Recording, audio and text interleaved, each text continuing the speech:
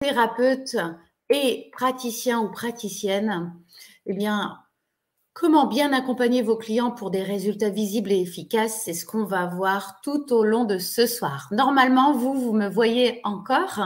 Voilà, mais moi, je ne vois pas la petite fenêtre, mais ça, c'est pas grave, j'ai pas besoin de me voir. Je me vois assez comme ça tous les jours.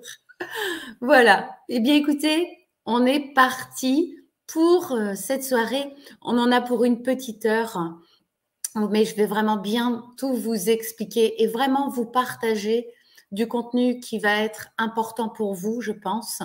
Euh, et euh, je vais l'abreuver avec, en plus, je vais abreuver ce contenu de, de partage d'expérience. hein, voilà. Donc comme ça, je veux que vous puissiez repartir de cette heure, cette petite heure entre nous, avec euh, déjà euh, des choses pour vous qui vont vous servir, soit en tant que praticien, praticienne, thérapeute ou en tant qu'accompagnante, parce que j'ai vu qu'il y avait des accompagnantes. Donc ça, c'est super. Et on en a besoin de plus en plus dans notre monde, et vous le savez. Hein. Ça, c'est pas une révélation. Donc, je vais vous partager vraiment du contenu qui va vous aider. Voilà. Alors, pour que cette euh, webconférence se passe euh, avec, euh, se passe le mieux possible avec le maximum de valeur, je vous conseille de ne pas regarder les réseaux, de ne pas répondre à vos messages pendant ce temps-là, de ne pas être au téléphone pour tout entendre. Et puis, bien évidemment, bah, si vous m'entendez pas bien, de mettre un casque, de prendre de quoi boire. Moi, je l'ai fait, regardez. Et puis, des notes si vous voulez. Voilà. Voilà, on est parti. Alors, bienvenue à, chacun et chacune. Alors, pour ceux et celles qui ne me connaissent pas encore, je vais me présenter. Je m'appelle euh, Nathalie Balassé. Euh, j'ai été praticienne euh, coach depuis plus de 12 ans maintenant. est venue à moi la thérapie. J'ai envie de vous partager ça. C'est tout à fait personnel, mais Comment je suis rentrée dans la thérapie? Ben, C'est parce que la vie m'y a emmenée. Euh, j'étais euh, avec mon mari, qui est aujourd'hui donc toujours mon mari et le père de mes enfants. Et puis, euh, on venait d'avoir une, petite fille, Clara, qui avait un an et demi. Et on s'est séparés. Et grâce à la thérapie, eh bien, nous avons réussi à enlever ce qui nous séparait l'un de l'autre et qui était totalement inconscient qui était comme un mur entre nous. Grâce à la thérapie, on a réussi à mettre ça aux oubliettes, j'ai envie de dire, et donc de reconstruire quelque chose de très fort entre nous. Et puis, nous avons décidé d'avoir notre deuxième enfant. Alors, eh bien, quand j'ai vu que la thérapie m'avait apporté autant, j'ai eu envie d'en faire autant pour les autres. J'ai quitté euh, euh, mon métier et puis je me suis euh, formée je me suis formée pendant des années, je me suis formée à la relation d'aide selon Carl Rogers. Donc, euh, j'aime pas trop le dire, mais entre guillemets, je suis maître praticien en relation d'aide. J'aime pas trop le dire parce que je trouve que c'est un peu pompeux, pour tout vous dire. Hein. Bon, voilà. Et puis, je suis psychogénéalogiste, je suis sophroanalyste. Euh, je me suis formée aussi à l'hypnose et à tous les types d'hypnose, euh, que ce soit ericksonienne, rapide, avancée, flash, etc. Euh, je me suis formée aussi à d'autres techniques comme le RMT pour euh, les enfants, parce que je me suis formée avant à la psychologie de l'enfant, et donc parce qu'il faut bien comprendre que l'enfant ne raisonne pas comme nous, hein. il a un processus différent de nous, et c'est normal parce que son cerveau n'est pas aussi développé que le nôtre au début. Euh, et puis, donc le RMT, c'est la réintégration pour les réflexes archaïques. Et puis, je me suis formée aussi à l'énergétique avec les guérisseurs philippins, avec d'autres personnes également. Bref, je ne vais pas tout vous énoncer. Je me suis aussi formée au coaching, mais je ne vais pas tout vous énoncer. Tout ça pour vous dire qu'en fait, chaque fois que, entre guillemets, je tombais sur un os euh, avec ma clientèle, chaque fois que je tombais, par exemple, sur une mémoire transgénérationnelle, la première fois que je tombais sur une mémoire transgénérationnelle, je me suis dit, mais ça ne lui appartient pas à cette dame. Ouh là là, va falloir que je me forme sur autre chose. Il faut que j'aille voir les ancêtres. Et donc, ben, je me suis formée à la psychogénéalogie. Vous voyez? Donc, à chaque fois, en fait, mes clients, parce qu'on a le droit de dire client avec Carl Rogers, j'aime pas trop dire patient parce que c'est plus du monde médical, eh bien chaque fois mes clients ont été mes plus grands maîtres. Voilà. Donc vous savez tout de moi, je suis maman de deux enfants, j'ai 48 ans, bientôt 49 le mois dans deux mois, puisqu'on n'a pas fini le mois de mars. Et, donc euh, voilà, je, je suis aujourd'hui, je ne pratique plus euh, en tant que thérapeute depuis très peu de temps. Enfin, quand je dis je pratique plus, presque plus, parce que c'est difficile d'arrêter. Hein. Les gens veulent absolument avoir encore des rendez-vous. Donc, il y a encore quelques rendez-vous que j'arrive à faire, mais très, très peu. Et sinon, voilà, aujourd'hui, j'ai un organisme de formation et j'adore faire ce que je fais puisque je transmets toutes les techniques que j'ai utilisées et qui ont fait ma réputation euh, j'allais dire, sur cette terre parce que au départ c'était dans la région, puis après ça a été au niveau international. Et donc j'ai eu euh, des clients d'un peu partout dans le monde. Voilà. Donc, allons dans le cœur du sujet. Qu'est-ce qui va se passer euh, sur ce webinaire? Eh bien, tout d'abord, je vais vous partager les cinq clés qui vont vous permettre de bien accompagner vos clients pour des résultats visibles et efficaces. Hein. Je vais vous partager également les différents langages qu'utilise l'inconscient et qui permettent de comprendre et d'identifier la problématique profonde et cachée de votre client. Et puis, je vais vous partager aussi les outils que j'utilise pour déloger soit une mémoire de vie, de grossesse quand on était dans le ventre de maman, des ancêtres ou d'autres vies. Hein. voilà, ça c'est tout ce qu'on va voir sur cette conférence. Voilà, alors tout d'abord, la clé numéro un. Eh bien, ça ne va pas être un secret pour celles qui sont déjà thérapeutes. Pour autant, c'est bon de leur préciser parce que Carl Rogers disait le positionnement du thérapeute, c'est déjà 80% du travail. C'est-à-dire que quand on est dans la bienveillance, dans le non-jugement, dans l'authenticité, dans l'écoute active, c'est-à-dire qu'on va écouter à la fois sur le plan conscient, mais aussi sur le plan inconscient ce qui se passe. Et puis, bien évidemment, dans le secret professionnel, je vous assure que ça change tout. Alors, je le disais, c'est peut-être pas une révélation pour autant, malheureusement, tous les thérapeutes ne sont pas dans ce positionnement juste. Je m'explique. La bienveillance, eh bien, je peux vous assurer que j'ai euh, déjà vu des thérapeutes qui malheureusement sont plutôt brutales quand ils accueillent ou froids, pas très accueillants. Et je peux vous assurer que si, quand vous arrivez chez quelqu'un comme ça, ça m'est déjà arrivé, ben, on n'a pas envie d'y retourner. Hein. Je crois que vous allez être d'accord avec moi là-dessus. Hein. Voilà. Le non-jugement, qu'est-ce que c'est? Bien, c'est que quoi que dise le patient, on est dans le non-jugement. Ça, c'est absolument nécessaire. Et moi, je me rappelle d'une seule fois où j'ai été obligée de me reprendre. Et bien heureusement pour moi, ma cliente était en train de fermer les yeux. J'étais proche d'elle. En fait, moi, vous savez, ma valeur première, mais c'est ma valeur à moi, c'est la famille. Mes enfants, voilà, mon mari, c'est ma valeur première. Pour autant, une fois, j'ai eu une, euh, donc une, cliente qui était à côté de moi et qui m'a dit si je pouvais, je changerais les choses. Et je lui ai dit qu'est-ce que vous changeriez? Et elle m'a répondu je ne ferai pas d'enfant. Alors j'ai été choquée sur le coup, mais tout de suite, je suis revenue dans mon corps et j'ai dit je suis revenue à ma valeur travail, hein, parce que pour moi, ce positionnement dans le travail, il est hyper important. Je suis revenue au non-jugement. Hein. Voilà. L'authenticité, l'authenticité, c'est quoi? C'est qu'en en fait, on peut partager des choses qui nous sont personnelles si on pense que ça peut aider notre client.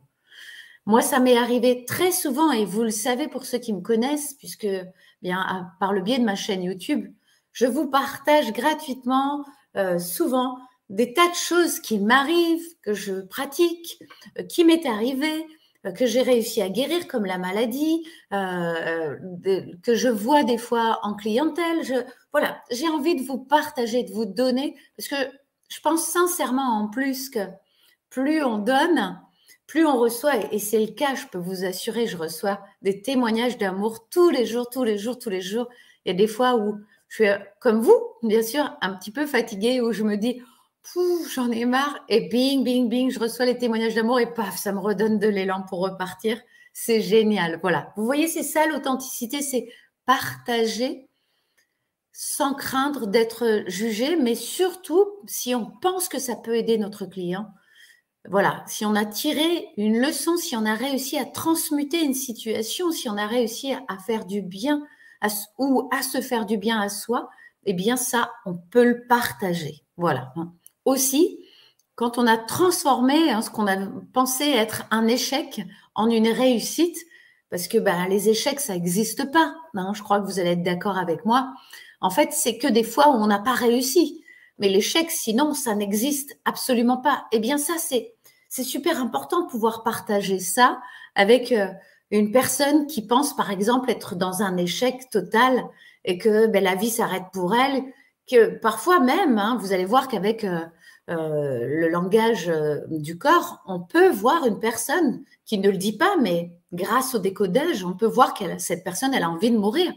Et là, vous voyez, eh bien, on peut lui partager des choses qu'on a vécues nous et qu'on a réussi à dépasser et qui aujourd'hui nous ont apporté des valeurs, des, des forces, un potentiel incroyable, un potentiel. Vous voyez, vous, entendez le potentiel Bah oui, ce sont nos guides, hein, ils sont toujours là pour nous.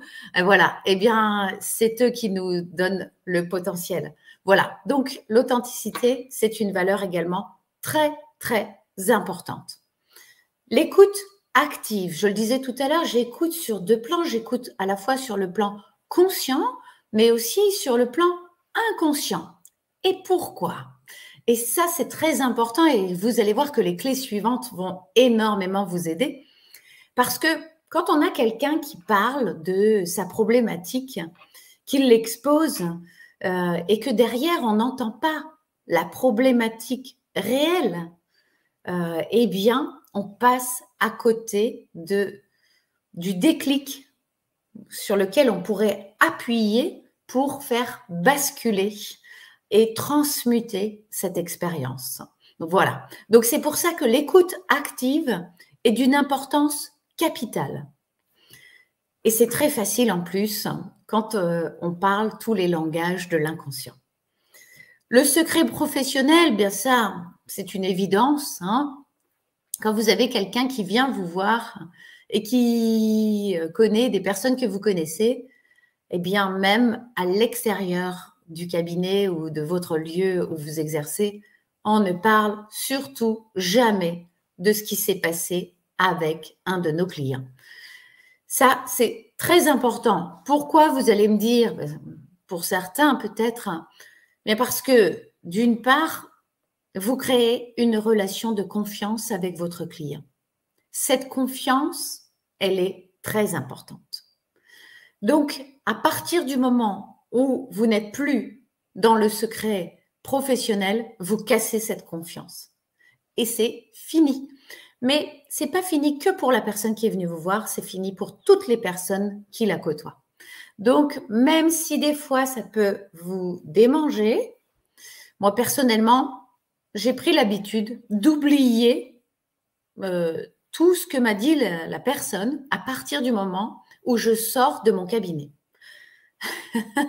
c'est pour ça d'ailleurs que pendant les consultations, je prends des notes parce que je et d'ailleurs c'est aussi ça a été un rituel pour moi et peut-être que vous le faites vous aussi. Euh, chaque fois que je ferme le dossier de mon client ou de ma cliente, eh bien j'ai oublié son histoire. Je vais vous dire que je pense que ça me préserve de la folie aussi, parce que j'ai vu des milliers de personnes par an pendant plus de 10 ans, même 12 ans maintenant. Donc, euh, vous imaginez un petit peu toutes les histoires que j'aurai dans la tête et tous les tiroirs, et je ne veux pas. voilà. Donc, je ne sais pas comment vous, vous pratiquez, et, et vous allez me le dire dans le chat, n'hésitez pas Dites-moi si déjà cette première clé vous parle. Euh, je, lirai ensuite, parce que je ne vais pas revenir à chaque diapo, mais Je lirai ensuite ce que vous m'avez noté, mais n'hésitez pas à me dire, je lirai tous les commentaires ensuite. Voilà. Hein. Donc, en tous les cas, le positionnement, voilà, comme le disait Carl Rogers, c'est 80% de la consultation. Malgré tout, vous allez voir que les 20%, faut pas les négliger parce que c'est ce qui peut nous, c'est ce qui peut faire basculer votre client pour aller vers le bien-être. Hein. Voilà. Alors, je vous partage tout de suite la deuxième clé. La deuxième clé, c'est de trouver la vraie problématique, comme je le disais tout à l'heure. C'est d'aller trouver le tsunami émotionnel grâce aux répliques émotionnelles. Je m'explique. Vous avez une personne, par exemple, euh, qui a des maux de tête? Je vais vous parler d'une cliente que j'ai eue qui avait des maux de tête à répétition avec des vomissements et ça lui arrivait très régulièrement. Eh bien, cette personne-là, elle vit des répliques émotionnelles. C'est-à-dire que chaque fois qu'elle a des maux de tête qui l'obligent à se mettre dans le noir, qu'elle vomit, qu'elle, voilà, etc. Et, à chaque fois que ça lui arrive, c'est une réplique émotionnelle d'un tsunami émotionnel qu'elle a vécu bien avant. Et donc, eh bien, pour être efficace, et c'est pour cela que je disais qu'il fallait écouter sur le plan conscient et inconscient, parce que en fait, et vous allez le voir, je vais le dérouler avec mes cinq clés. Hein, euh, vous allez voir qu'en fait, c'est très important d'avoir le, le message en fait que donne l'inconscient à travers les mots MAUX que vit la cliente. Dans ce cas-là précis, on est bien dans des mots MAUX, parce que derrière, il va falloir mettre des mots MOTS sur le tsunami émotionnel qu'elle a vécu et qui lui prend la tête et qui la fait vomir. Et quand on veut vomir, c'est qu'on ne veut pas s'empoisonner. Donc, on met à l'extérieur, eh bien, euh, ce qui pourrait nous empoisonner, nous rendre malades, tellement ça nous prend la tête. Vous voyez? Voilà. Hein Donc, euh, ça, c'est le, le, langage du corps que je suis en train de vous traduire là, au travers de l'exemple de cette cliente. effectivement, on est bien allé au tsunami émotionnel. On a trouvé, hein, c'était dans son enfance, elle avait vécu quelque chose de terrible pour elle. En tous les cas, elle l'a vécu comme tel. Et effectivement, je ne vais pas euh, trahir de secret là, mais en tous les cas, effectivement, ça a été terrible à vivre et donc, eh bien, ça lui provoquait ces répliques. Eh bien, euh, elle a été euh, définitivement débarrassée de tout ça avec seulement deux, heures, deux, pardon, deux séances d'une heure et demie. voilà, même pas, je crois, même pas une heure et demie, je crois que c'était une heure. Mais bon, voilà. Bref. Donc voilà la clé numéro 2. Alors si vous êtes thérapeute, est-ce que vous vous appliquez, vous, à aller chercher la vraie problématique? Est-ce que vous savez que chaque fois qu'on vient vous parler d'une problématique, par exemple, je veux arrêter de fumer, il y a quoi derrière? Vous voyez, moi, quand je faisais des arrêts du tabac, eh bien, je disais aux personnes, OK, moi, vous savez, je suis formée à, l'hypnose, donc je peux vous arrêter de fumer en deux ou trois séances grand max. Ça dépend combien vous fumez de cigarettes. Ça dépend si la nicotine remplace euh, l'adrénaline, euh, remplace euh, la dopamine, voilà.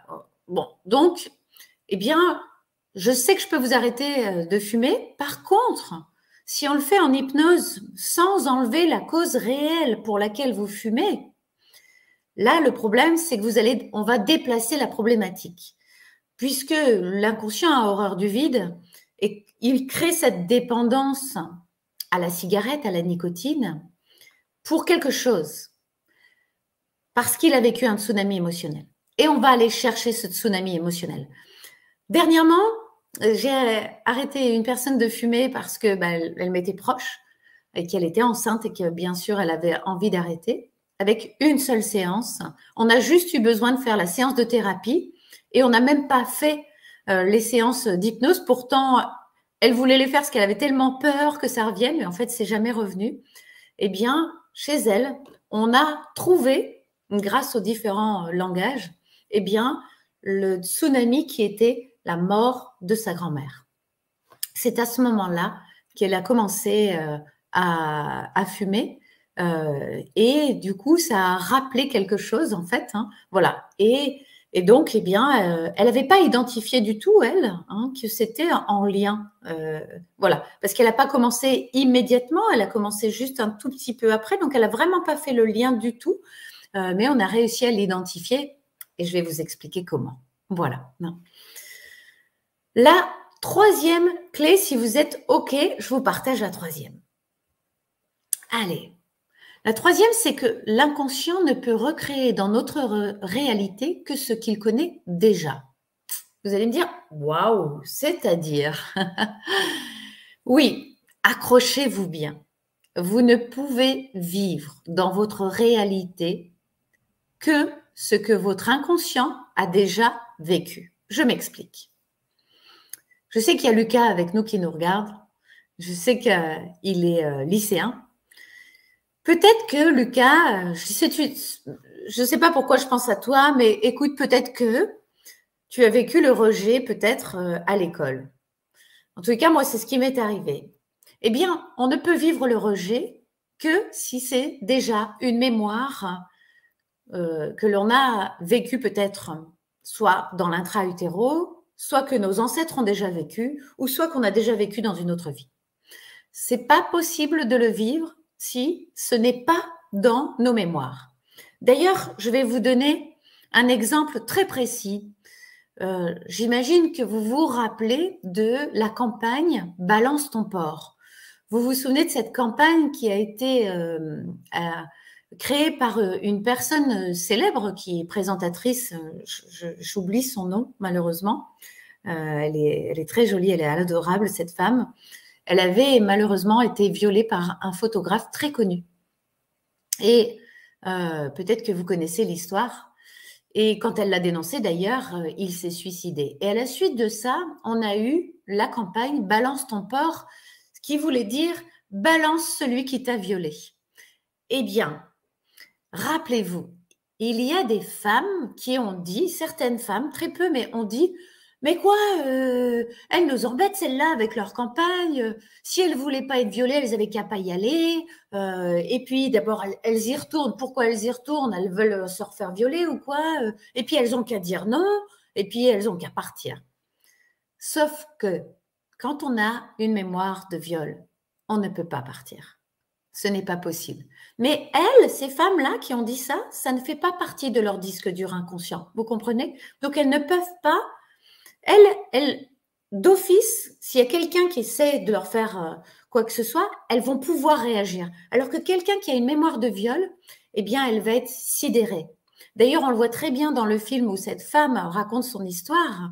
Euh, cette femme euh, présentatrice dont je vous parlais tout à l'heure, elle a fait un film de son histoire et on voit dans un ascenseur, il y a un homme qui vient pour lui tripoter les seins eh bien, elle est incapable de réagir, elle se demande ce qui se passe, elle est totalement tétanisée. C'est normal quand on a une mémoire de viol. Autrement dit, parce que en fait, euh, comme il y a eu viol en haut, hein, quand on a une mémoire de viol, ça veut dire qu'il y a eu viol dans l'arbre généalogique plus haut, eh bien, on a euh, on a tous les comportements de celle ou celui qui a été violé plus haut. Et donc, on a la sidération, par exemple. Vous voyez? Alors que ces femmes qui disaient, mais qu'est-ce qu'elles ont, celles-ci? Eh bien, elles, elles n'ont pas cette mémoire. Elles n'ont pas été euh, violées. Et donc, elles, elles, peuvent réagir et se défendre. Voilà la différence. Hein voilà. C'est ce qu'on appelle en fait le principe de la pensée créative, vous le savez. Hein on ne peut créer dans notre réalité que ce que l'on connaît déjà. Hein, voilà. Donc, euh, D'ailleurs, hein, il y a des personnes qui disent mais moi je ne serai jamais riche, je ne serai jamais riche. Voilà. Et plus on répète ça, et plus effectivement on le crée. Tout ce que l'on dit, hein, je dis souvent, j'ai des personnes autour de moi qui disent oh c'est difficile, oh c'est compliqué. Je dis s'il vous plaît, ne dites pas c'est difficile, ne dites pas c'est compliqué. L'inconscient n'entend pas le ne pas, donc dites ce n'est pas simple. Vous voyez comme ça, L'entend, l'inconscient, pardon, il entend, c'est simple, puisqu'il n'entend pas la négation. Donc, ce n'est pas simple. Vous voyez? Voilà, il faut faire très, très attention à ce qu'on dit parce que on le crée. Donc, chaque fois que vous avez un client ou une cliente qui vient à vous, qui vient vous parler d'une réalité, eh bien, c'est ce qu'il a déjà sur son disque dur inconscient. Et ça, c'est très important, notamment pour la clé numéro 4 qu'on va découvrir tout de suite. Mais je vais revenir vers vous deux minutes parce que je voudrais voir si tout va bien pour vous. Voilà. Flavie Flamand, merci beaucoup Constance, c'est ça. Exactement. Voilà. Ah, alors dites-moi, est-ce que tout va bien? Alors, je vais lire effectivement les commentaires. Voilà. Et on a André aussi avec nous. Je ne vais pas juste pour faire un coucou, mais je ne peux pas rester. Ah, super, mais je vais regarder plus tard avec un grand plaisir. Ce sera le replay. Voilà, c'est génial, super. Ok. Euh, qu'est-ce que témoigner de notre vécu? Ne risque-t-il pas de bloquer la personne? Ne vaut-il pas mieux aller chercher les ressources de la personne? Qu'est-ce que témoigner de notre vécu? Ah, le risque. Alors, euh, ok, Feda, je comprends la question. Alors, je vais l'afficher. Voilà la question. Hein pour que vous la lisiez vous aussi. Alors, Feda, elle se demande si partager notre vécu, ça pourrait pas bloquer la, personne. Absolument pas. Absolument pas. Au contraire, surtout si on, l'a, si on a dépassé, hein, si on, a dépassé le, euh, le traumatisme ou, euh, ou l'expérience que l'on a vécue et surtout qu'on l'a transmutée, eh bien, ça va être énorme, ça va apporter énormément. Personnellement, je suis quelqu'un qui partage beaucoup. Euh, bien sûr, j'essaye de me limiter quand même, hein, parce que sinon, moi, je parle beaucoup. Euh, donc, euh, je partage et à chaque fois, les personnes m'ont dit Qu'est-ce que ça m'a aidé ton partage? Voilà. Hein. Donc, voilà. Pensez à mettre des pouces. oui, vous pouvez mettre des pouces, effectivement. Super. Anso se connaît peut-être, peut-être. Alors voilà, j'ai un dossier patient et j'oublie volontairement. Alors là, je ne sais pas ce qui a été dit. On peut parler de la vie après la mort des animaux. Euh, vous faites des vidéos sur la vie après la mort. Oui, je fais des vidéos sur la vie après la mort. Par contre, ce n'est pas le sujet là, mais effectivement, et vous en avez plein sur ma chaîne YouTube Nathalie Balassé. Voilà, Floriane, pour répondre à votre question. Patricia, bonsoir. Oui, la clé numéro 2 est primordiale. D'ailleurs, l'objectif de départ change la personne arrive avec un objectif qui n'est plus le même en partant. On est bien d'accord, Feda. On ne voit pas les documents défiler. Comment ça, vous ne voyez pas les documents défiler? Les documents, il n'y a pas, j'ai pas fait de documents. Sophie, là, vous m'inquiétez. il n'y a pas de documents normalement. Euh, est-ce que, bon, je vais voir, la clé numéro 3 n'est pas super claire pour moi. Ah, la clé numéro 3 n'est pas super claire Alors, Émilie, je reviens, je réexplique. La clé numéro 3, ça veut dire qu'en fait, on va créer absolument tout par la pensée. Hein. Voilà, c'est parfait, toujours prenant, super.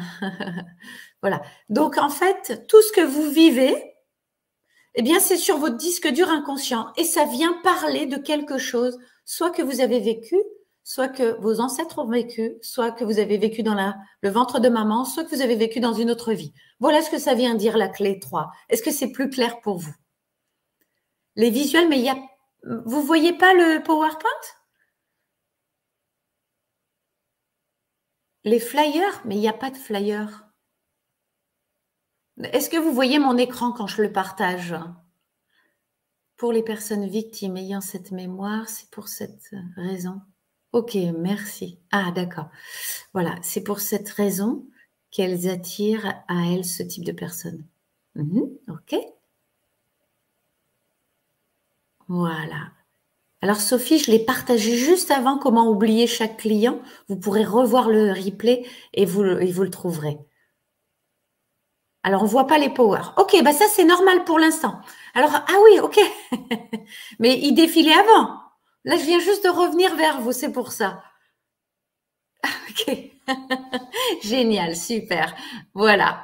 Alors, c'est bon, Alex. Ok, super. Merci pour votre contribution. Merci beaucoup. C'est génial. Voilà. Alors, on y retourne si c'est OK pour vous, les trois premières clés. que je vous partage la quatrième. Et non, c'est pas OK? Euh, Je vous le repartage là, à l'instant. Je vous le partage là. Hein? Alors, ce qu'il est impératif pour moi, hein, pour pouvoir aider véritablement votre client et surtout pour que ce soit efficace et durable, c'est qu'il faut absolument enlever la mémoire émotionnelle du tsunami émotionnel. Alors, il faut décrypter. Et pour décrypter, il y a plusieurs langages. Il y a le langage des couleurs, le langage des formes, le langage du corps et puis le langage des oiseaux. Alors, je ne sais pas si vous connaissez ces différents langages. Et ben là, je vais revenir finalement, je vais arrêter le partage parce que j'ai besoin de voir ce que vous allez dire. Ah. Et donc, je ne sais pas si vous connaissez ces différents langages. Ah voilà, c'est parce que j'avais arrêté le partage. Voilà. Est-ce que ça vous parle, ces différents langages? Parce que je vais étoffer avec vous. Je vais vous faire vivre quelque chose, si vous voulez bien. D'accord? Allez, est-ce que vous voulez bien fermer tous les yeux? Pensez à quelque chose que vous avez vécu et qui a été difficile.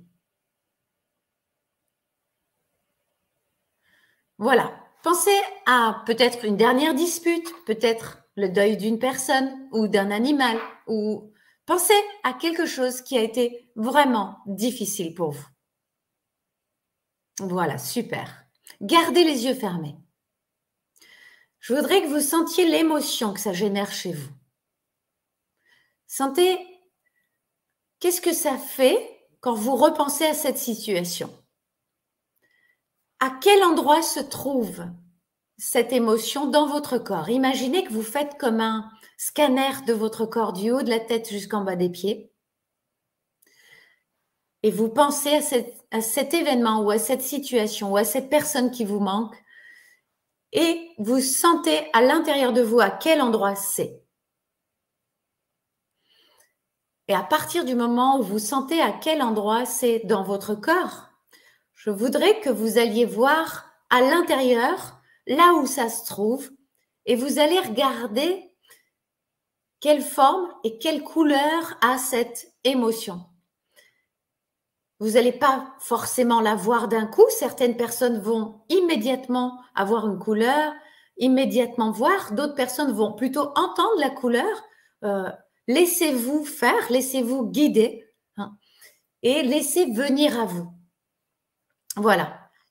Et puis, quand vous aurez identifié l'endroit, la couleur, peut-être aussi la forme, eh bien, vous pourrez réouvrir les yeux et à ce moment-là, vous pourrez mettre dans le chat ce que vous avez vu, ce que vous avez ressenti, à quel endroit, quelle forme et quelle couleur.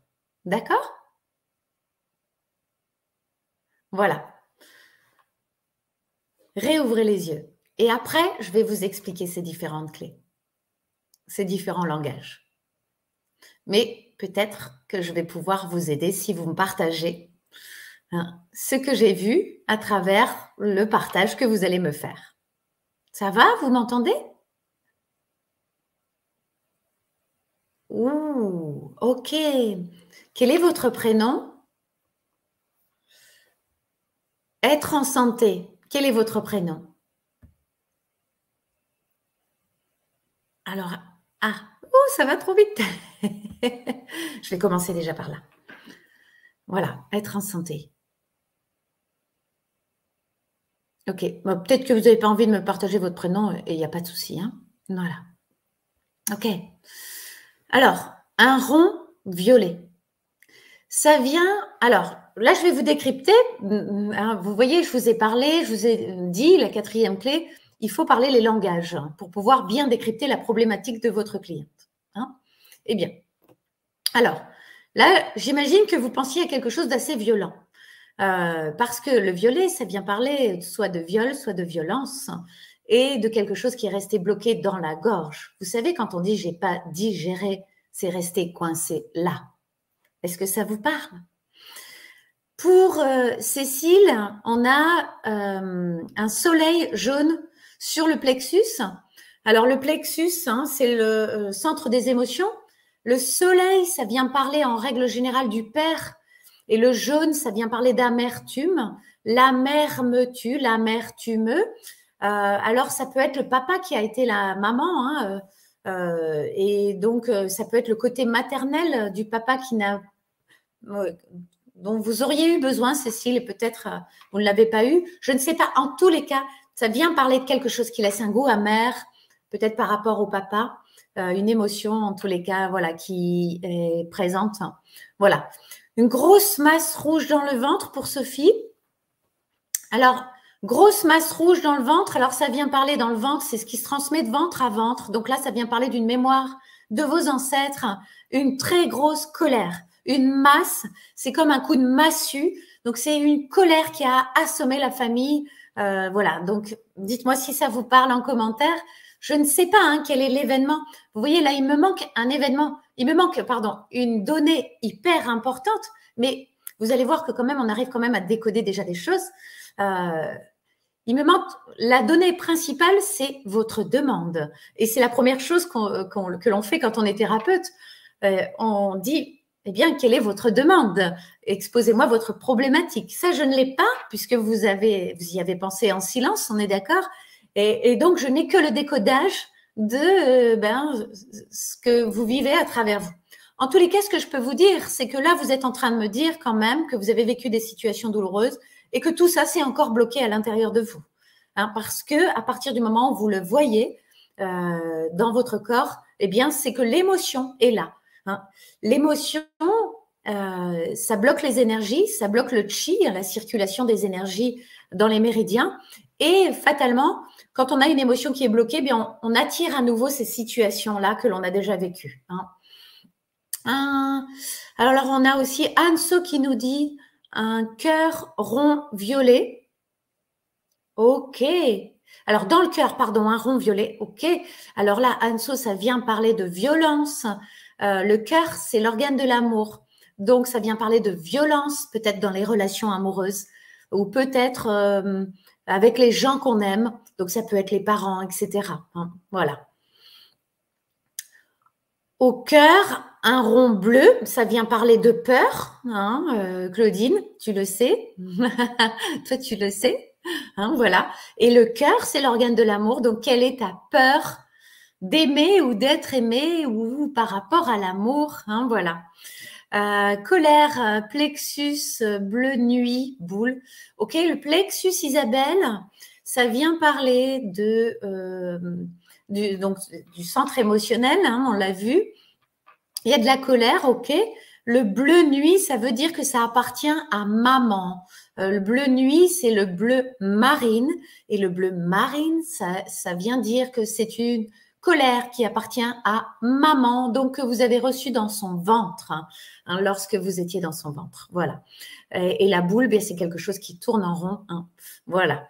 Euh, alors, à un moment donné, je ne pourrais pas tout faire, mais euh, le cœur, il n'y a pas de forme, mais c'est noir et rouge, ok Noir et rouge, ça veut dire que dans le cœur, il y a une colère qui peut-être donne des envies de mourir, ou peut-être que c'est par rapport à un deuil non fait, parce que le noir, ça vient parler de mort, ou bien aussi peut-être euh, de peur de mourir, mais euh, je pense plutôt que c'est par rapport soit à un deuil non fait, soit à quelque chose qui peut donner envie de mourir. Hein, voilà.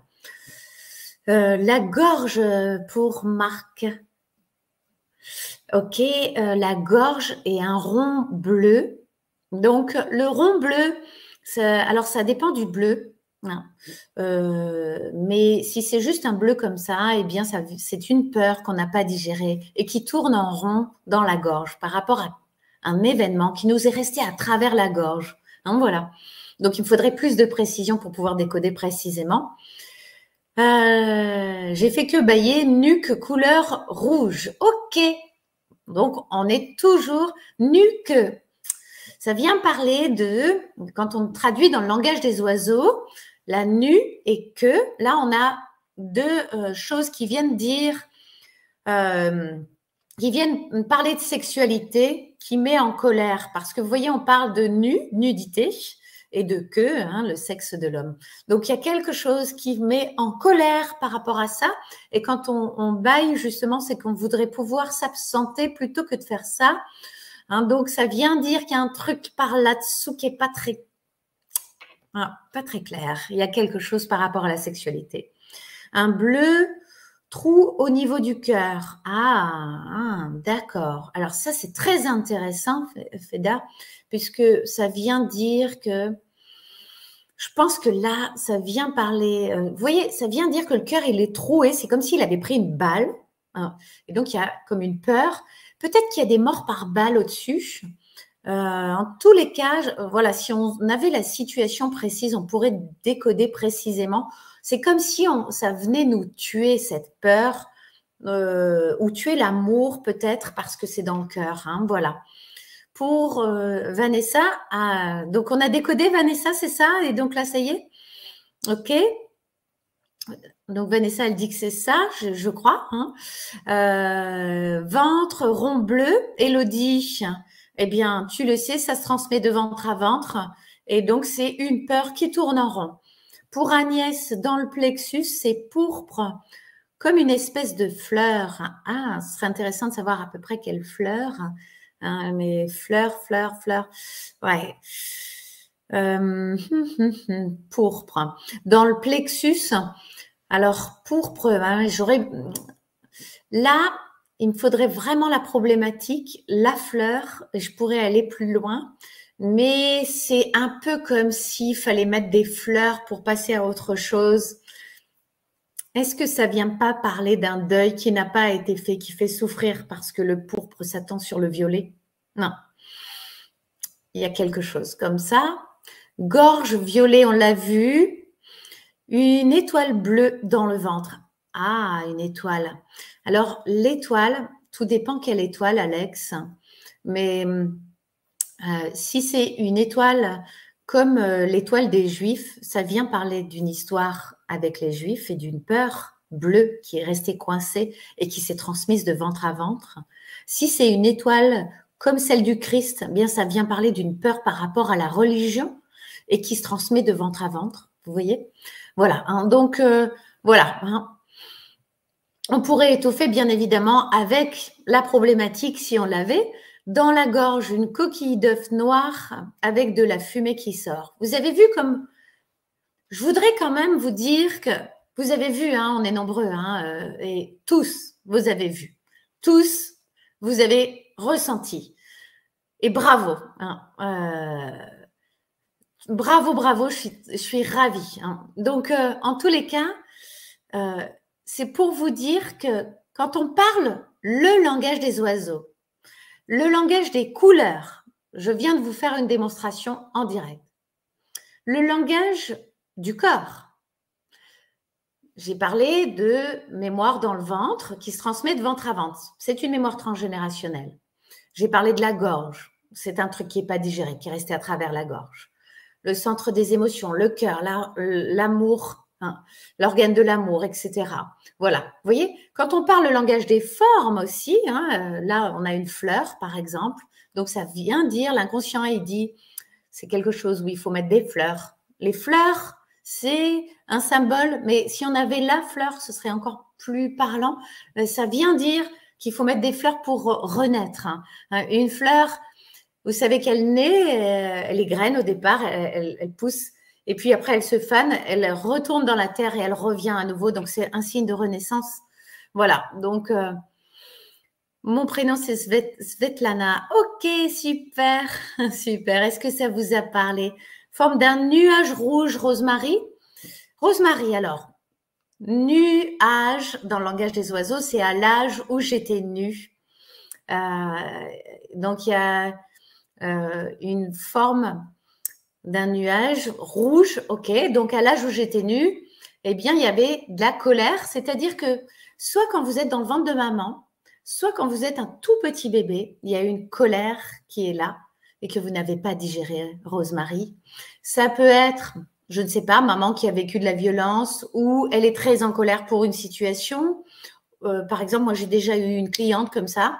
Euh, elle avait du rouge euh, dans, dans sa, sa, fille, pardon, c'est sa fille de 4 ans qui avait du rouge dans le ventre. Effectivement, quand j'ai demandé à la maman, après avoir décodé tout ça avec elle, euh, pour voir si ben, on avait fait du bon boulot. Et je lui ai dit, ben, vous avez vécu une grosse colère hein, quand vous étiez euh, enceinte. Elle m'a dit oui, c'est vrai. Et après, elle m'a expliqué qu'effectivement, elle était architecte et elle avait un, gros, très gros chantier qui lui était passé sous le nez. Et donc, euh, eh bien, la petite, elle avait pris toute la colère de maman parce qu'elle veut la débarrasser de la colère. Voilà. Non. Le cœur qui saigne, Odile, hmm, tout à fait. Alors, le sang, c'est, ça vient dire que, en fait, le cœur, il saigne euh, depuis des générations, puisque ça se transmet par le sang. Ce qui voudrait dire, Odile, puisqu'on se connaît, que ce que tu as vécu, euh, eh bien, dans l'arbre généalogique, il y a ça aussi. Hein. Donc, euh, ce n'est pas que ta souffrance, c'est la souffrance de l'arbre. Et pour que ça s'arrête, il va falloir arrêter de faire saigner le cœur. Parce que nous mettons au monde nos souffrances avec nos enfants et nous leur transmettons tout ce que nous avons sur notre disque dur inconscient. Une tache grise euh, dans la tête, lourde. Euh, Joël, ça, ça vient parler d'une tristesse. Le gris, c'est pour la tristesse. Euh, et la tête lourde, donc qui prend la tête et qui est alourdie. Hein. Donc c'est quelque chose probablement que vous avez vécu qui vous rend très triste, et ce n'est pas passé du tout puisque vous voyez, c'est à l'intérieur de votre corps. Et donc, vous avez encore cette tristesse-là. Il va falloir s'en débarrasser. Hein. Martine, poumon noir rond. Ah là, Martine, les poumons, c'est l'organe de la vie. Euh, ça veut dire qu'il y a quelque chose. Le noir, c'est soit un deuil non digéré, soit la peur de mourir, soit le... Euh, attendez, ça va me revenir, peur de mourir deuil non fait ou envie de mourir, pardon. Voilà. Et donc, ça vient dire qu'il y a quelque chose qui tourne en rond chez vous, Martine. Est-ce que c'est l'envie de mourir? Est-ce que c'est un deuil qui n'est pas fait? Ou est-ce que c'est une peur de mourir qui vous pourrit la vie? Parce que le poumon, c'est l'organe de la vie. Oui, la colère me parle, c'est par rapport à une rupture. OK, un, un rond orange au niveau du cœur. Orange, c'est soit quand on se sent euh, mis à l'écart, rejeté, euh, et donc là c'est dans l'organe de l'amour, donc on s'est fait mettre euh, de côté, ou soit quand on se sent dévalorisé aussi. Hein, le orange, or en jeu, l'or c'est la valeur, donc ou hors jeu, vous voyez. Donc voilà, le orange ça vient parler soit mise à l'écart, soit j'ai été dévalorisée. Euh, je pense en, effet qu'il s'agit d'un deuil pas tout à fait fait. Et eh ben voilà, hein, peur de ma belle-mère ne puisse plus se lever et marcher, peur de la voir devenir grabataire. Bon ben voilà, on commence à avoir les réponses par rapport au, euh, décodage que j'ai fait. Et voilà, j'ai sauvé ma fille d'une asphyxie et mon cœur a été traversé et le bleu peut être le fait de voir le visage bleu de ma fille d'un an et demi. C'est surtout que vous avez peur de revivre ça parce que la peur s'est inscrite en vous, Feda. Feda, pardon. Hein. Euh, et du coup, la, peur est inscrite en vous. Il faut l'enlever absolument parce que sinon, euh, vous, ça se transmet encore. Hein. Voilà. Euh, Bravo en tous les cas pour votre fille. Hein. Un nuage rouge dans le bas-ventre, euh, Rosemary. Donc ça, c'est la colère. Hein. Euh, voilà. Exactement, Nathalie, un deuil douloureux, difficile à faire. Voilà. Euh, merci pour le replay. Je vais voir quitter. Je viens de Belgique. Ok, Isabelle. Voilà. Merci. Voilà. Est-ce que ça a répondu la perte d'un être cher? Est-ce que le est-ce que ce que j'ai décodé, ça, ça vous a parlé déjà hein? Vous pouvez me le dire en commentaire. Voilà. Est-ce que ça vous a parlé? Voilà, la perte d'un être cher. Donc oui, c'est ça. Oui, oui, ça a parlé à Agnès. Ok, super. Voilà. Hein. J'en profite pour boire un peu d'eau. oui, merci, ça vous a parlé. Super. Oui, beaucoup. Bon, ça donne envie d'apprendre les langages Bah oui, je vous comprends. Je pense réellement que pour être un excellent thérapeute, il faut parler les différents langages, c'est clair et net. Parce que moi, on va en, je vous assure, très peu de temps à précisément, en plus, à la problématique réel. Non. Oui, merci. Bon, super, super, super. Eh bien, c'est génial. Alors, on va continuer. D'accord? Voilà. Alors, je suis désolée, j'ai pris un peu plus de temps que prévu, mais je voulais vous faire vivre ça parce que comme ça, bah, vous voyez à quel point c'est simple cette technique et à quel point euh, ça peut être hyper précis. Hein voilà. Alors, c'est bon, voilà, je vous ai repartagé à nouveau. Donc, la quatrième clé, et je viens de la vivre avec vous. J'espère que vous avez apprécié, que vous avez aimé. La clé numéro 5, eh bien, c'est tout simplement qu'il faut enlever l'information émotionnelle sur tous les plans, sur le plan physique, biologique et subtil. Et donc, euh, évidemment, euh, il y a un protocole qui est précis et qui permet de libérer l'information dans les cellules et dans les différentes dimensions quantiques. Voilà. Et donc, c'est évidemment euh, un protocole qui n'est en fait pas connu, euh, puisque jusqu'à présent, et pourtant je peux vous dire que j'en ai fait des formations, euh, je l'ai jamais trouvé ailleurs, puisque ben, en fait, je l'ai, euh, j'ai pris des informations chez Elisabeth, qui était ma thérapeute, hein, qui m'a beaucoup aidée, et puis euh, j'ai peaufiné tout ça avec ensuite ben, mes clients. Et ce protocole, il est né de mon expérience. Et donc, je l'ai appelé TEDMI. Voilà. Donc, euh, ce qui est sûr, c'est que en suivant ces cinq clés, eh bien, vous avez le processus pour accompagner vos clients, le positionnement, trouver le tsunami émotionnel, l'inconscient ne peut reproduire que ce qu'il connaît, les différents langages de l'inconscient et le protocole précis pour réinformer jusque dans les cellules subtiles, eh bien là, on a un outil qui est d'une performance incroyable. Je l'ai appelé TEDME. D'ailleurs, j'aurais dû mettre, il est protégé. Hein, ça s'appelle la technique TEDME, technique d'effacement définitif des mémoires émotionnelles inconscientes. Et c'est aujourd'hui la plus complète des, solutions, des, techniques que je connaisse et qui donne des résultats efficaces, visibles et durables euh, pour les clients. Et ça, je vous le dis parce que bah, j'ai eu, plus de 10 000 clients à mon actif, ça c'est clair. Donc euh, voilà, je sais que cette technique, elle a fait ses preuves et c'est pour ça qu'aujourd'hui, je souhaite l'enseigner. Voilà. Donc, bien justement, si euh, vous êtes OK, ben, je vais vous partager à qui s'adresse cette technique euh, TEDMI. Eh bien, j'ai envie de dire à toutes personnes qui ont envie d'accompagner les autres, d'aider à se libérer. Si vous êtes déjà dans le soin, bien évidemment que vous êtes concerné. Si vous êtes dans l'accompagnement, bien évidemment que vous êtes concerné vous aussi.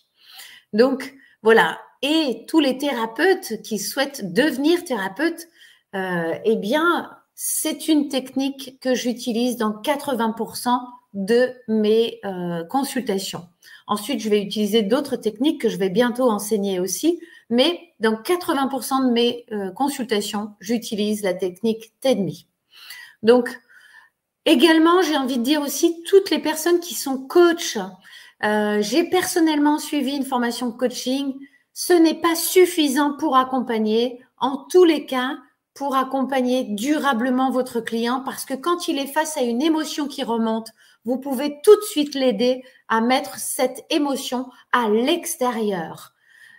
Parce que, effectivement, la technique TEDMI, c'est ça, c'est mettre l'émotion à l'extérieur. Quand on la met à l'extérieur, ça reprogramme toute la personne, ça coupe les connexions neuronales sur lesquelles elle se branchait. Par exemple, si je reprends l'exemple des mots de tête avec vomissement, bien, ça, on a coupé les connexions neuronales en allant chercher le tsunami émotionnel. Aujourd'hui, il n'y a plus du tout cette problématique. Donc, elle a recréé d'autres euh, connexions neuronales sur lesquelles elle se branche maintenant. Euh, et donc, ça change sa biochimie puisque euh, bien le corps crée hein, de l'adrénaline, du cortisol par rapport à ce qu'elle avait vécu et, et donc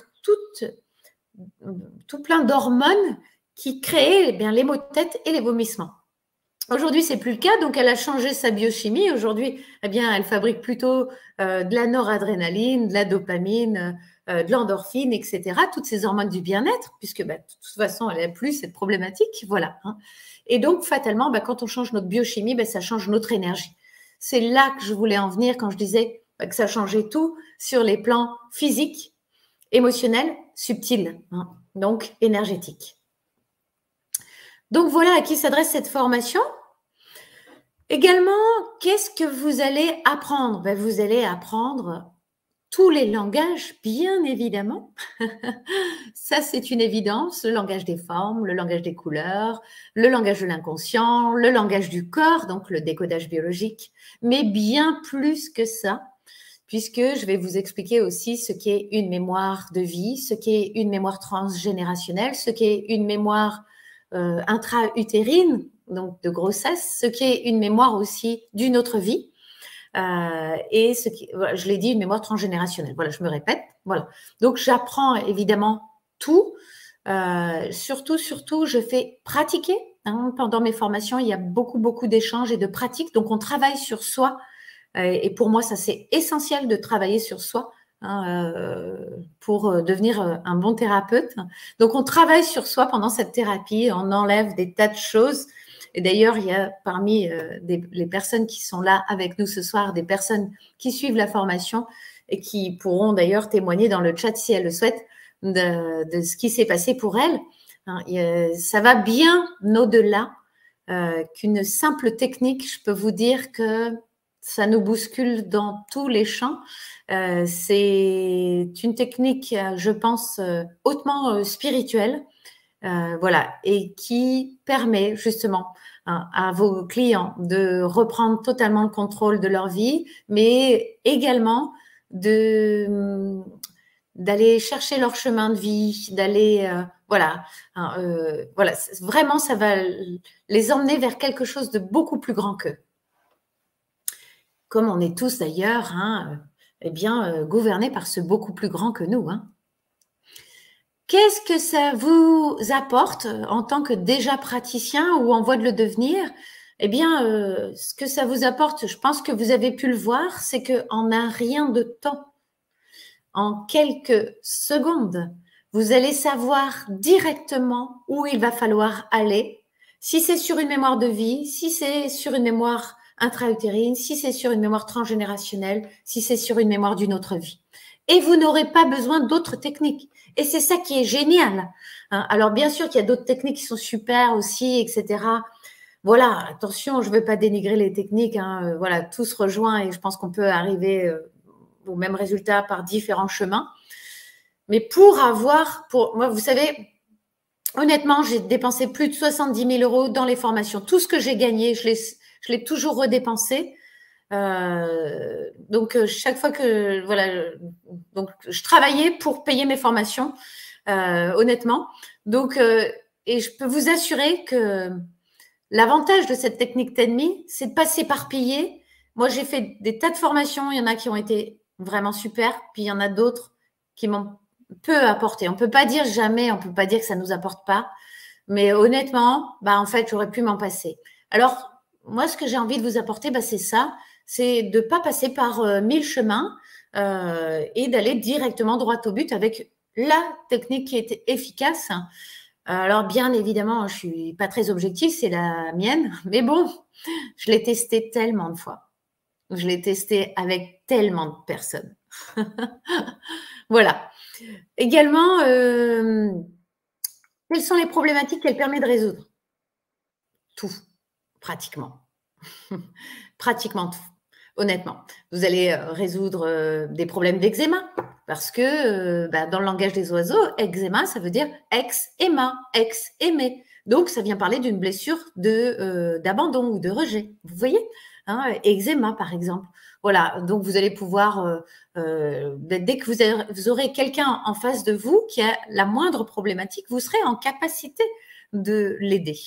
Euh, même si la personne ne veut pas euh, trop trop parler, ben vous avez vu que en fait en lui posant quelques questions toutes simples, et qui n'ont aucun sens pour elles, comme ça n'avait pas de sens pour vous quand je vous les ai posées, j'en suis certaine, eh bien, vous avez vu qu'on peut déjà aller chercher des choses et l'aider, l'aider. Voilà avec le protocole ensuite hein, qui permet ben, de mettre à l'extérieur. Voilà. Donc, ça permet de d'enlever des peurs, euh, d'enlever des tristesses, des colères, euh, des mémoires, que ce soit euh, de viol, de spoliation, de traumatisme, de guerre, de tout en fait. Hein, voilà, ça permet bien évidemment de faire sortir de la dépression, du burn-out, de, toutes les problématiques qu'on peut rencontrer en tant que thérapeute.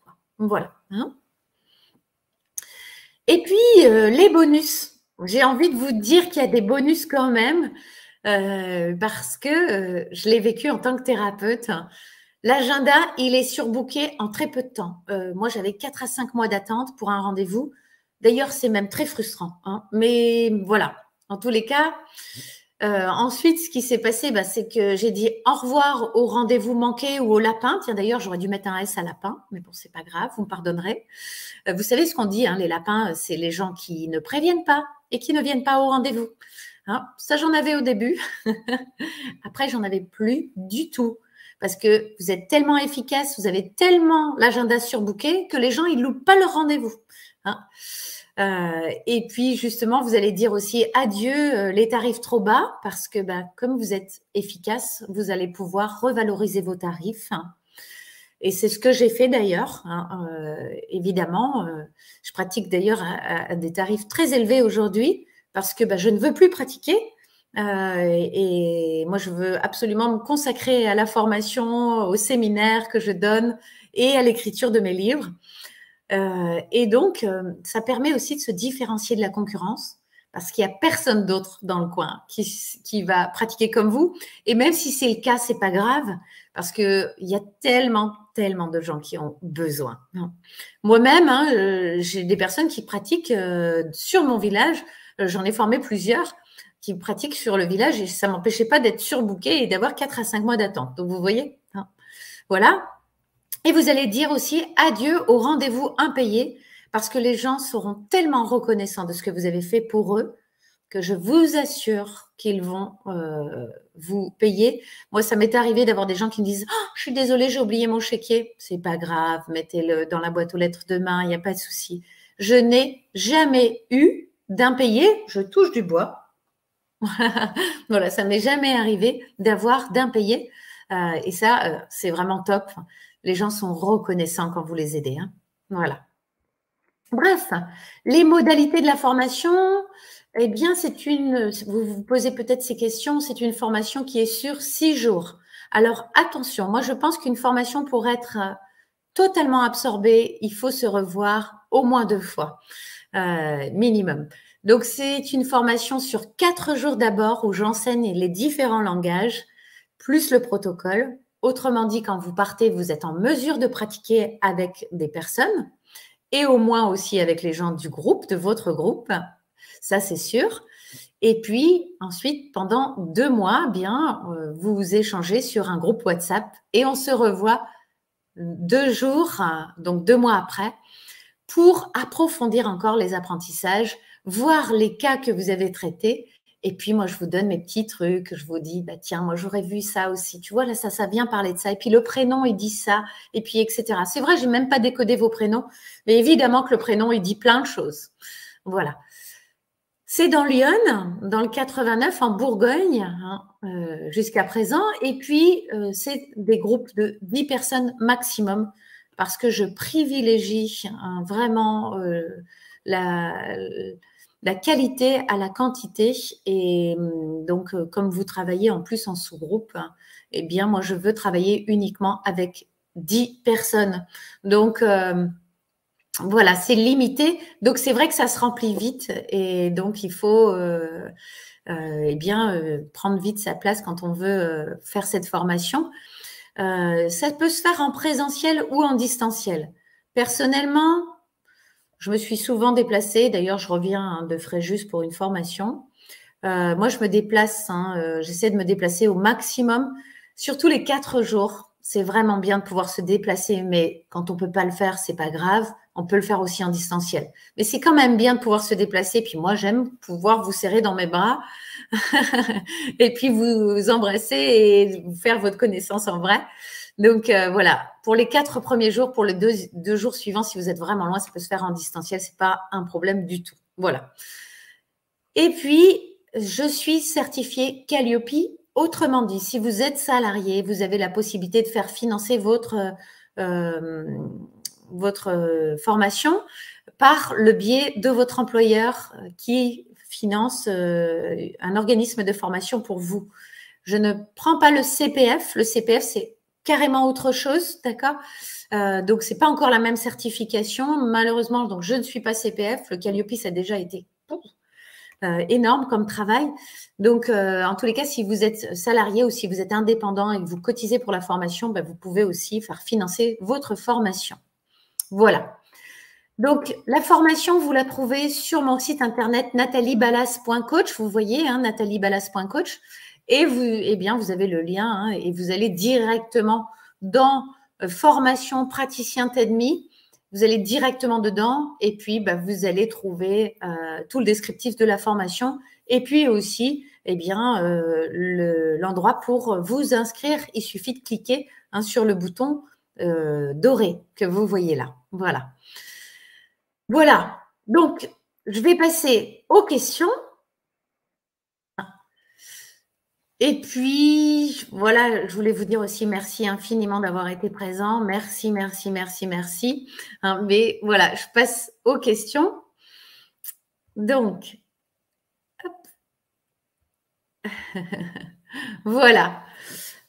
Alors, on se voit en mai, oui.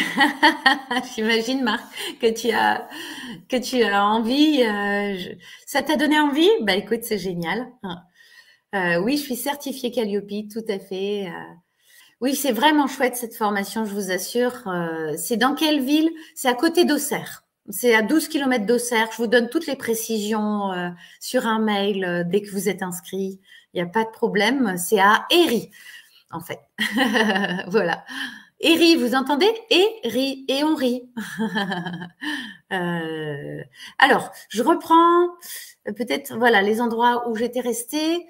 Euh, pour ma part, oui. Euh, donc, tout à fait, ça a parlé à beaucoup de personnes. Faites-vous aussi une formation sur les langages? Mais ben, C'est ça, Sophie. Je fais la formation sur les langages dans cette formation TEDMI, bien sûr, tout à fait. Et je vous apprends les différents langages. C'est précis, mais il faut plusieurs fiches. oui, c'est sûr. c'est vrai, c'est vrai. Euh, Constance, oui, je confirme, ok. Euh, donc Constance, elle confirme que la formation, ça, ça, apporte beaucoup, je pense, parce que Constance, elle fait partie de mes élèves. Oula, oui, bien au-delà. Elodie qui dit que oui, ça apporte bien au-delà, ok. Euh, je vais terminer ma formation en constellation familiale l'année prochaine. Je ferai votre formation TEDMI avec plaisir, Rose, avec plaisir. Hâte d'être en octobre, génial pour Sophie. Oui, formation très complète et qui nous rend prête à devenir thérapeute très rapidement. Ben, tu peux le dire, hein, Claudine, parce que ça y est, Claudine, elle ouvre son cabinet. voilà, elle vient juste de faire partie de la dernière session, donc euh, voilà. Euh, très efficace, je confirme aussi. C'est une formation géniale. Ok, Elodie, merci. Euh, ça a l'air chouette. Oui, c'est très, très chouette, je vous assure. On se voit en mai, oui. Euh, formation top et soins TEDMI très efficaces. J'ai testé en tant que cliente, c'est vrai. Et plus que testé d'ailleurs, c'est vrai. combien de séances en moyenne pour accompagner? Une problématique par séance. Voilà, je ne peux pas mieux vous dire. Alors évidemment, si c'est une problématique confiance en soi, par exemple, la confiance en soi, ça vient. Il y a plusieurs racines à, cette problématique. On est d'accord? Mais par exemple, j'ai euh, de l'eczéma, bah, c'est une problématique, une séance, et c'est réglé. Voilà. Euh, désolé, j'ai eu problème de connexion. Pas grave, vous reviendrez euh, voir le live. Est-ce que vous utilisez la méthode TEDMI à votre séminaire, séminaire au mois de juin? Yes Oui, Elsa. Euh, comment finir comment fixer ses prix à ses débuts? Bah, Tout ça, j'en parle pendant la formation aussi. J'ai testé C'est bluffant, c'est clair. Oui, tout à fait, Marc. Pas avec moi, mais avec Hélène, qui est une excellente thérapeute qui a suivi ma formation et qui est géniale. Et, d'ailleurs, on s'était rencontrés, hein, Marc, euh, lors de la formation de coaching hein, avec Hélène. Euh, chacun est unique, exact, c'est vrai, tout à fait. Oui, le TEDMI m'a rendu si légère et complètement gaie, enjouée et changée. merci, pour ta, merci pour ton témoignage, Claudine. Est-ce que cela pourrait m'aider à faire des ateliers d'art-thérapie en plus de m'aider moi-même? Évidemment, Odile, évidemment, mais bien sûr. Euh, je te dis pas comment tu vas pouvoir les aider parce que chaque fois qu'ils auront une remontée émotionnelle, tu pourras les accompagner à se libérer totalement et pas euh, qu'une partie, tu vois? voilà. Euh, tout à fait, voilà. Euh, je suis désolée, mais je dois vous laisser. Ok, Isabelle, il n'y a pas de souci. Voilà, de toute façon, hein, vous avez les liens. Je, vais, euh, je vous mettrai les liens si vous voulez dans. Bah, je les mettrai sous la vidéo de toute façon, comme ça, il y aura les liens, il n'y a pas de problème. Et puis, bah, vous aurez la possibilité d'aller voir les liens. Voilà. Et puis, euh, six jours suffisent pour intégrer la technique et la pratique. Oui, tout à fait, José, tout à fait, oui. Évitons les transferts, évidemment. Ah bah oui, parce que là, c'est sûr. Il a transformé également euh, mon mari, Didier. Oui, le séminaire et la, la, pratique a transformé euh, ton mari, Claudine. C'est tout à fait juste. Voilà. Bon, quel moment on a passé ensemble encore. C'était vraiment génial. Je vous remercie infiniment. Voilà, si euh, alors la formation elle est déjà remplie hein, euh, pour moitié, donc il reste plus beaucoup de place. Donc je vous le dis, si vous vous êtes intéressé là pour la formation du mois de mai, euh, ne tardez pas trop parce que voilà il reste quelques places seulement. Hein. Voilà très intéressant et dans ma continuité de mes envies. Merci Nathalie. Avec plaisir, oui, moi aussi, moi aussi. Hein, je vous embrasse de tout cœur. Je vous souhaite aussi une très belle soirée. Hein, et voilà, je voilà, j'étais très très heureuse d'être avec vous. Je suis en train de lire vos commentaires en même temps. Voilà, c'est que de l'amour. Euh, est-ce que vous pratiquez en digital? Euh, Je ne comprends pas cette question digital, qu'est-ce que ça veut dire euh, euh, Je pratique à distance, bien évidemment. Euh, oui, tout à fait. merci. Hein, si c'est si la question, je pratique à distance en, avec Zoom. tout à fait. Merci pour vos partages. Merci pour votre participation active qui ont pu vous, vous faire voir à quel point bien vous aviez encore des choses de bloquées chez vous et qu'il faut absolument les enlever. Euh, parce que sinon, la vie nous remet sur notre chemin tout ce qu'on n'a pas digéré. Donc, il faut vite se libérer de tout ça. Et puis, bien écoutez, j'espère sincèrement qu'un jour, je ferai votre connaissance en vrai, que ce soit à mon séminaire ou lors d'une formation. Voilà, je vous embrasse de tout cœur. Je vous envoie plein d'amour. Moi aussi, c'était un vrai plaisir. à très bientôt. Prenez bien soin de vous.